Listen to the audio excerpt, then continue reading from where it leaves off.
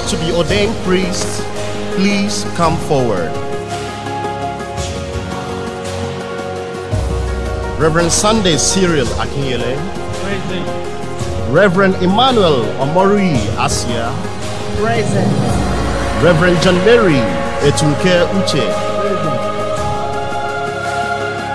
Most Reverend Mother, the Holy Mother Church asks you to ordain these men, our brothers, for service as priests. Do you judge them to be worthy? After inquiry among the people of Christ, and upon the recommendation of those concerned with their training, I testify that they have been found worthy.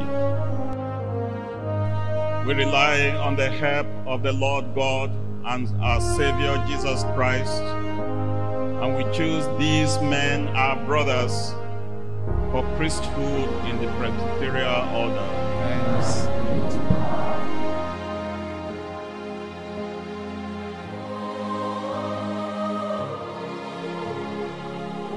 Grant, we pray, Almighty Father, to these your servants the dignity of the priesthood. Renew deep within them the spirit of holiness. May they henceforth possess this office which comes from your from you, O God, and is next in rank to the office of bishop.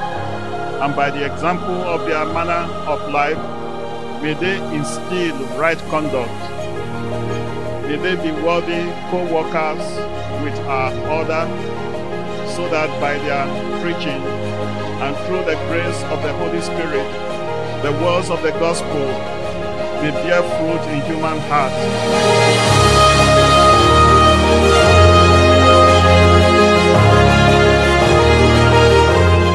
Then we now face the congregation and greet us.